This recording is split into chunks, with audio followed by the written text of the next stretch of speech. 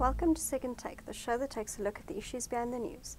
The Competition Amendment Bill has been tabled before Parliament by Economic Development Minister Ebrahim Patel. Terence Creamer joins me to talk about some of the new inclusions in the bill. Hi, Terence. Hi, Chanel. What is the main objective behind these proposed changes? Well, this uh, competition law has been in place now for 20 years, since 1998. And generally, I think people feel it's been a successful intervention in the economy. We've obviously seen the, the big cartel cases, etc., that have come through, and we've seen the fines that have been levied against companies that have breached the law. And uh, I think since 2010, there's been something like 7 billion rands worth of fines paid. So I think the, what has happened now is there's been a review 20 years later of the law and its effectiveness. And I think the shift, the main shift, is to try and take, you know, we've, we've done quite well at dealing with bad behavior. And I think the issue is now to shift it towards market structure. And that's really what the attempt uh, is here to, to create the tools and the instruments to allow the competition authorities to look at the uh, not just the behavior of companies but the structure and the main instrument here will be uh, the market inquiry uh, mechanism. Now we already have had some market inquiries into different sectors uh, from healthcare to telecommunications but uh, what the new version once this bill is passed will give uh, much more teeth to what the competition authorities can do through the market inquiry, as well as allow the, exec, uh, the, the minister to initiate a market inquiry.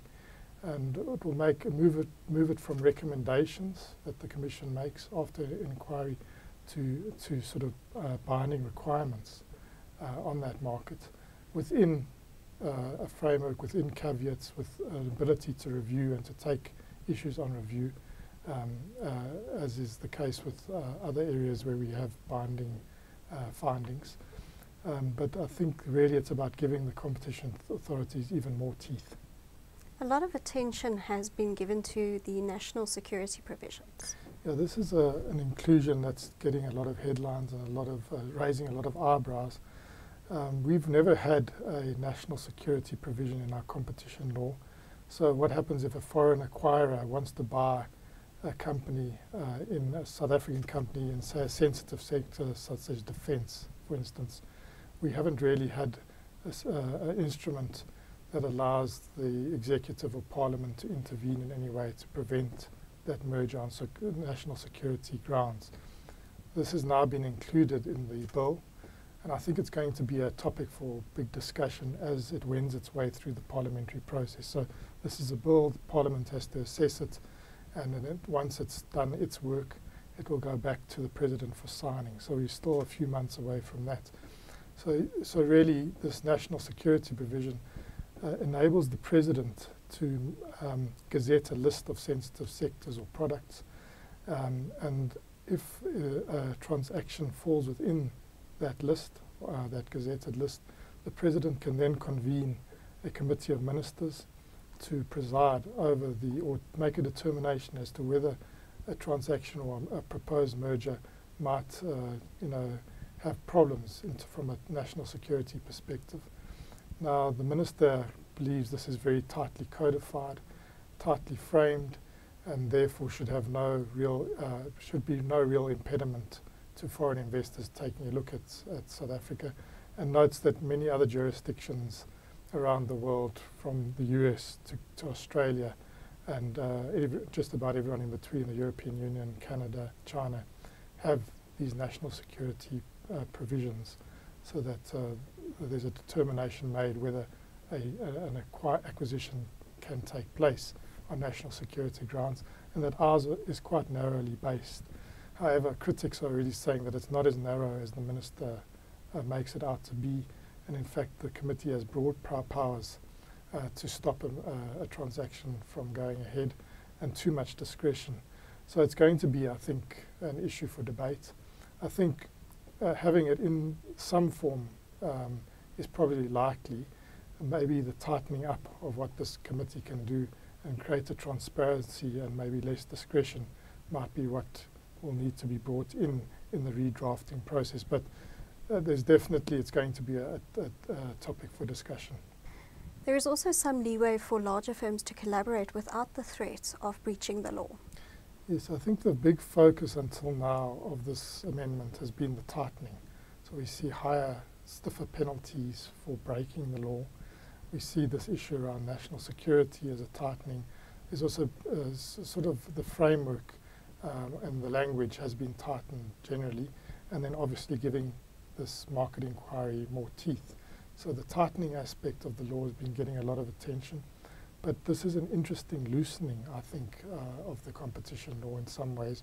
Uh, the minister describes it as flexibility. And really, it gives um, companies an opportunity to approach the competition authority and the minister to, to get some sort of exemption from uh, if they're wanting to collaborate. Uh, say, are they in a vertical or even horizontally uh, between industries? You know, at the moment it's quite difficult uh, and uh, companies are quite reticent to enter joint ventures and collaboration for fear of breaching the Competition Act. And here the Minister and uh, the competition authorities can give some leeway to, to allow collaboration if it can be seen as it's in the national interest in the form of creating more jobs or helping facilitate growth. Uh, or I suppose in sectors where South Africa could play a larger ro uh, role internationally, where the domestic, where they need some sort of um, leeway or some sort of space to manoeuvre to become a major player internationally. it seems that there's going to be some consideration for that. We'll have to see how that plays out, both within the parliamentary process uh, as well as later, once this uh, becomes legislation, uh, whether it will allow large companies to collaborate more in, in the interest of growth and jobs. But it's, it's early days, but it does seem it's a bit of a, um, a compromise that government's making, saying, look, we are tightening up. Um, and the large companies and representations that have made uh, during this bill drafting process, which has been quite uh, intense. I think there's been quite a few sessions at NEDLAC around this. Business has said we need some space uh, to do joint ventures and to do it in a way that we don't have the threat that we are going to be seen in breach of the Act all the time. So I think that that's, there has been an attempt here to reach some sort of compromise and balance. Thank you. That's the second take show for this week. Thank you for watching and join us again next time for more news analysis.